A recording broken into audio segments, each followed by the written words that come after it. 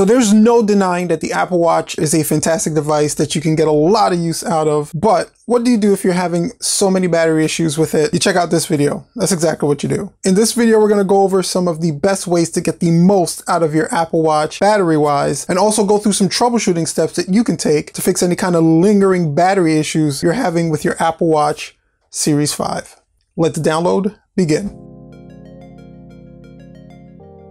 So if you're new here and you want to learn how to use and troubleshoot devices, plus some other cool tech stuff, we can help. All you need to do is hit that subscribe button and that bell for notifications so you don't miss when we release some cool, helpful content. So one of the first things we're going to take a look at is actually one of the newest and some arguably best feature of the Apple Watch Series 5, which would be the always on display. Now, Apple has done some optimizations to kind of keep that always on display from eating away at your battery. But if your screen is always on and always doing something, a la Mickey here just dancing along, it's going to use up a lot of battery power. So I do find that turning off your always on on display does help with your battery life overall. And the easiest way to turn that off is going to be to log into your Apple Watch companion app on your iPhone. And once you're in, you go to display and brightness and you have your always on display option there. And you can just toggle that on or off. And I do find helps improve your battery just a little bit, actually maybe a lot, a bit. So the next thing we're going to take a look at is adjusting your brightness settings and also your text settings because those two things can also kind of work in conjunction to help deplete your battery. Of course, the brightness affects the brightness of your screen and the text itself is just more pixels on the screen. So with more pixels equals more battery use. So optimizing your text and your brightness can help improve your overall battery life. And so for that, you would just go into the settings app of the Apple Watch itself, and then you scroll down to brightness and display or display and brightness and you click on that and then you have your display and brightness settings here. You can adjust this to make the screen a little dimmer or a little lighter based on where you want it to be. Now remember the brighter it is, the more energy you're going to use out of your battery itself. And you also have the always on display option here as well if you wanted to turn it off via your Apple Watch. And then you want to adjust your text size as well. So I like to keep it somewhere a little bit, I have bad eyes. So somewhere in the middle to high, but if it's all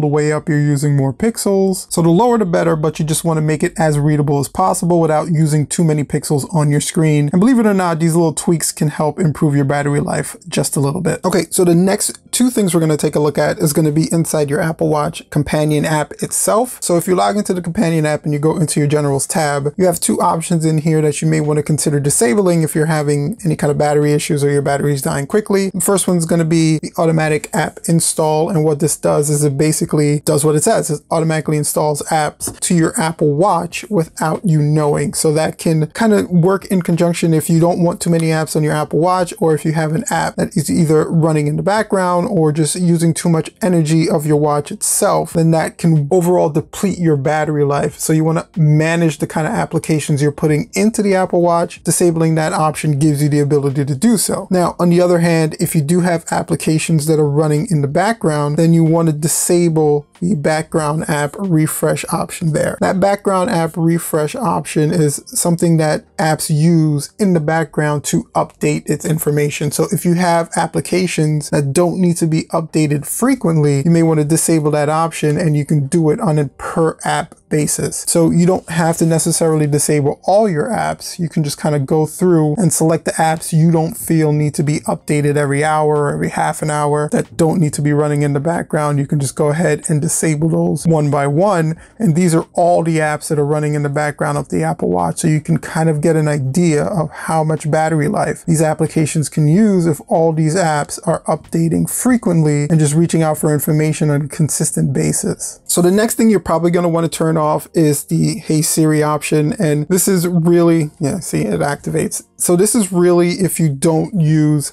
Hey Siri as much. If you're not using that particular assistant whose name I don't want to say as much, you can go ahead and disable it on the Apple Watch itself. Now, keep in mind that the microphone actually only listens when you say that particular command, but it does open the mic every now and then when it hears something close to that command. So if you say, hey, the mic starts listening and then it'll stop listening if you don't say the name of the assistant itself. So on and off throughout the day, you may be saying different words and different phrases that's triggering the mic and also using up just a little bit of battery power. A little bit goes a long way. So if you disable that application, especially if you're not using it, it can help definitely improve your overall battery life. You would just go into your settings app and then you're going to find Siri in the options of the settings and then you can just go ahead and disable the different Siri options that are available. So you have listen for the Hey Siri command. You also have the raise to speak command and the press the digital crown. So these options you can actually kind of keep. I would also disable the raise to speak option because again, that's just something that whenever you do that particular action, it's looking for you to say something. So it opens the mic up and uses a little bit of power. Disable these top two and you should be good to go. So the haptic feedback is the little vibrations you get whenever you do anything specific on the watch itself. So if you like press a button or if you press and hold the screen or if you go into a settings or anything of that nature, you get a little bit of haptic feedback from the watch or some sounds or anything of that nature. Those can also help to deplete the battery of the watch itself. So if you're looking to scrounge for a little little bit of battery life or a little bit of power, you can actually just turn those settings off and not have to worry about them at all. And then that will help conserve some power as well. So how you would turn that off is you would go into your settings and in your settings, you have sound and haptics and you're able to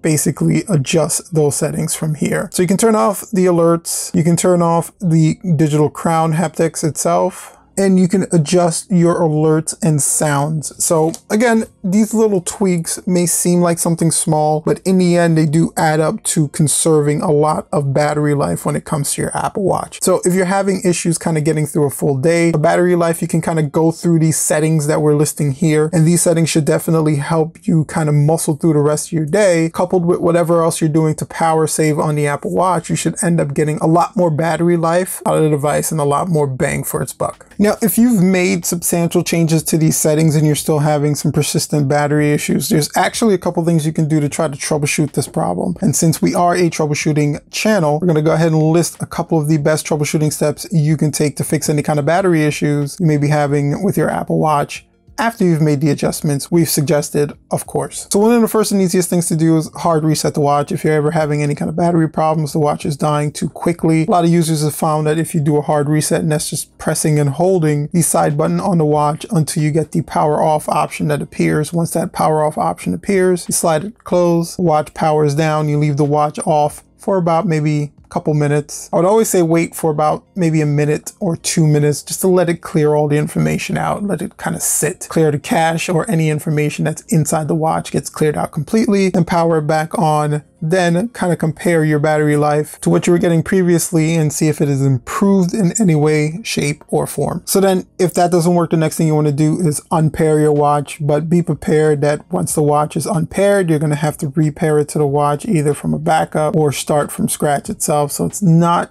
as simple as a step, but it is a step that definitely helps with battery problems. And to unpair the watch, you just go into your Apple Watch companion app, you tap the watch itself, and you tap that little eye next to the watch, and then you have your unpair Apple Watch option there. So once again, you go through that unpair process, let the watch sit, reboot both your phone and the Apple Watch itself and then try the repair process once more and see if that helps with your battery problem. Now, battery problems can also be a software issue. Apple has released quite a bit of software dealing with iOS 13 and the new Apple Watch OS itself. Some of those included bugs that have affected the battery life. So one of the first things that I always tell people to do nowadays if they're having any kind of battery issues or problems with their devices is to make sure they check for updates. Apple's been releasing a lot of different updates to patch a lot of problems problems it's been having with its OS. So there could be an update out there that helps you with your battery issue. So you can just check for updates simply by going into your Apple Watch into the generals tab, the software update option there. It'll start downloading and installing the latest version of Watch OS. And those versions of Watch OS, have different patches that help improve any kind of battery or stability issues that you're having with the Apple Watch and your iPhone. And of course, if all else fails, there's always the nuclear bomb the explosion that you can drop on any device, and that is a factory reset back to its default settings. Sometimes something can happen to the software that either corrupts the device itself, and the best bet is just to wipe it clean and start from scratch. To do that with the Apple Watch, you just go into your general settings, you scroll all the way down to the bottom, and you have a reset option there. You just go in, You're going to erase all the content and settings of the watch itself. Once that data is erased, it's like you don't have an Apple Watch paired to your iPhone. You completely reboot your iPhone, reboot the Apple Watch, pair the two back up, and then check to see if that helps with your battery issue. Again, a lot of these steps may seem like a lot, but they do definitely help with the problem. So give them a shot. You always want to make sure you troubleshoot your issues, but if all else fails and none of the troubleshooting steps that we've listed here works, your next step, and it's always your next step that we suggest, is to reach out to Apple. If you're having an issue that you just can't troubleshoot between your Apple Watch or your iPhone, definitely reach out to Apple. It could be something else that's causing the issue. It may not be anything to do with the software or the battery itself. It could be a hardware problem. It could be a communications problem. It could just be a bad Apple Watch. So definitely, if you've gone through all the troubleshooting steps and you reach the end of the road, your next step is to definitely definitely reach out to Apple. So hopefully guys, these tips will help you improve the battery life on your Apple Watch overall. If you have some tips we didn't share in this video, go ahead and share them in the comment section down below. And also if you have any questions, share them in the comment section as well. We eventually always get around to answering any kind of questions you guys comment on our videos. Until then guys, you can check out this video here. It's some tips on what to do if your Apple Watch just won't connect. And this is something that YouTube believes you'd enjoy watching. Guys, thank you so much for checking out the video. Don't forget to like, share, subscribe with that bell for notifications notifications so you don't miss or release some cool, helpful content like this one. Until next time, guys.